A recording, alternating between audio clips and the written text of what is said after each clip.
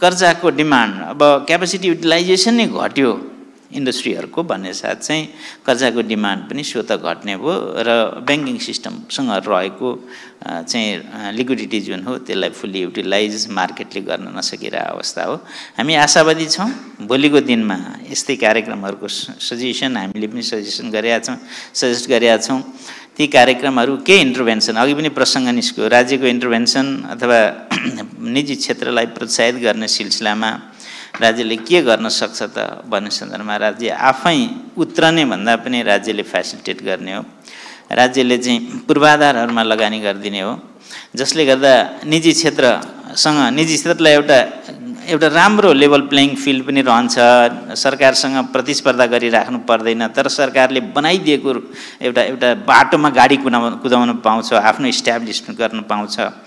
र र त्यो त्यो आफ्नो काम गरिराख्दाखेरि यी रिसोर्सेसहरू फाइनेन्सियल रिसोर्सेस अर्थात् यो लिक्विडिटीको पनि प्रयोग हुन्छ। हामी आशा गरौँ आगामी बजेटले हामीलाई त्यो बाटो बाटो दिनेछ।